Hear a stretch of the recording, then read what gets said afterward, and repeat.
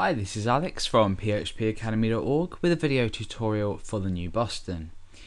In this video we are going to be looking at the contains selector in jQuery and we're going to be producing a, a small little application uh, somewhat similar to this. Now essentially what we have here is an unordered list with four names in. Now when we type into this box, we we're going to have a key up event which is going to return uh, the elements of this unordered list that contain the value that I typed. So for example, if I was to type G, you can see that all of these values are highlighted because they all contain G. If I was to type A, you can see that two of these contain a capital A. If I type a small a, all of them contain a small a, so it is case sensitive as well. If I was to type a capital B, the second only contains capital B, and I continue to type that as well. Uh, the same with something like D. If I was to type A-L-E, uh, Dale Garrett here contains ALE. So essentially it's just using the contain selector in a more dynamic way than if we were to just highlight something statically.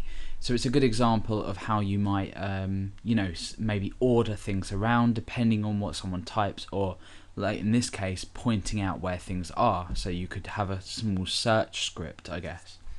Uh, let's go ahead um, and go over to our text editor. Let's start creating our list and creating our box and then the jQuery code behind it. So we, the first thing we want to go ahead and do is create our unordered list. Uh, if we go ahead and just refresh to blank the page, um, we'll go ahead and create this list. It's essentially just going to be an unordered list with an ID. So the ID of this is going to be names. And inside each element, we are going to create uh, obviously a name inside. So we'll have four of these. And we'll go ahead and place some data inside of each one. So Alex Garrett. And then we'll say uh, Billy Garrett. Dale Garrett and Ashley. Yeah. Okay, so now that we've done this, we know that the ID of this is names, uh, and it looks something like this. Uh, we're going to go ahead and inside style.css, we're going to style this so it just looks a bit nicer first of all. Uh, not really relevant, but we may as well. So we want the um, list style to be none, and that will just get rid of the circles, the uh, bullet points and we want to set the padding and the margin both to 0 so we set the margin here to 0 and that just pulls that in a bit. So now let's go ahead and create the so now we can go ahead and grab the um, or create rather the input field where we're going to be typing the names that are going to match the values. So let's go ahead and just create a paragraph here and inside create an input field with obviously the type text. And we'll go ahead and give that an ID as well. So I'm just going to call this search underscore name.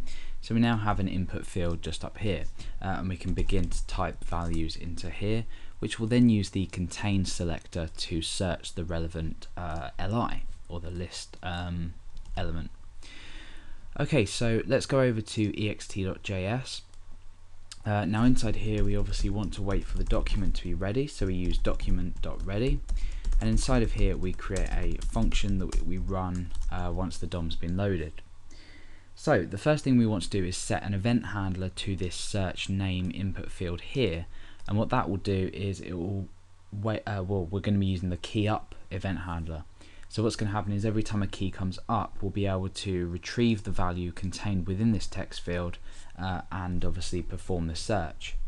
So we use a hash ID selector to select uh, search name, that's search underscore name, and then we bind the key up event handler to this.